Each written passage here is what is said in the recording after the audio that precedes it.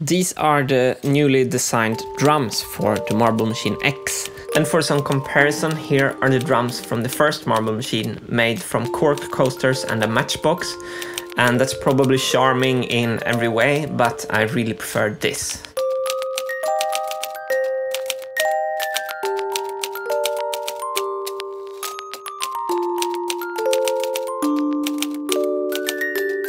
Okay, so the first thing I want to show you is how the kick comes together. What's special is these triangular shapes that you see inside, both in the bottom and here in the top. They are accommodating this contact microphone, which is the same contact microphones that I always use, the EAP-1 from Ehrlund, Swedish microphone inventor. And they go into this triangular shape. And we have a place both in the top of the drum as well as down here in the bottom. So we can mix the sound from the more direct, probably brighter hit with the bottom more thicker hit.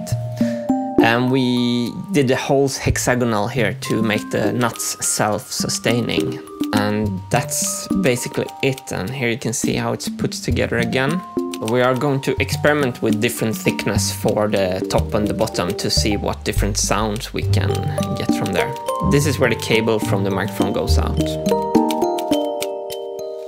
The snare drum is put together in the same way, except for a mm, important difference, and it's this shape in the bottom of the snare drum. Here, it's a space for a contact microphone, but also compartments for rice and lentils, or rice or lentils, I should say, or maybe a mix of them both, because then we can get this sound in the bottom microphone. And since we have two microphones in the snare as well, we can mix the sound with the sound and probably have much more control of the sound than what we had on the first Marble machine. So now for the hi-hat. And to the left you can see the triangular shape where the contact microphone is gonna be. And to the right there's an empty compartment that is gonna hold a counterweight. And the cross in the middle is like a pivot point for the hi-hat to pivot on. So every time a marble hits it, it can turn 45 degrees like that and then the counterweight will pull it back. So there's no spring on the hi-hat. So here I'm introducing a marble for scale reference, as you can see there to the left. To hold the drums up in the air, we have a ball hinge that goes on like this.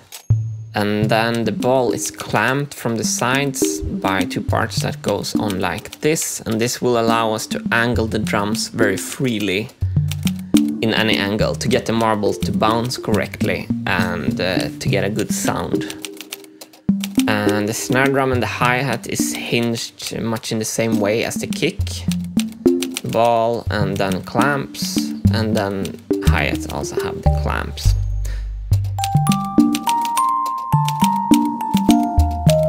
So these nuts are also self-sustained in the plastic. And to hold this whole construction up in the air, we have a big base. I'm not so happy with the design of this base so far. I think it's quite big. And these wonky arms, I just lost time. I was short of time to make the arms look nice. But it has some features. You can adjust the spring tension on this bolt.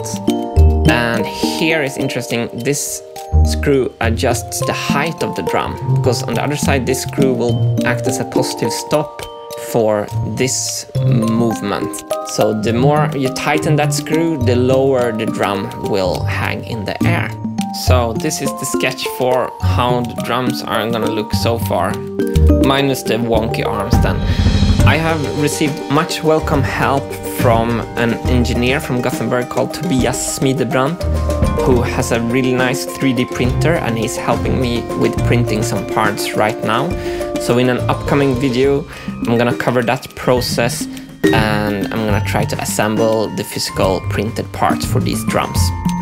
Okay, thank you so much for watching. See you on the next Wintergatan Wednesday.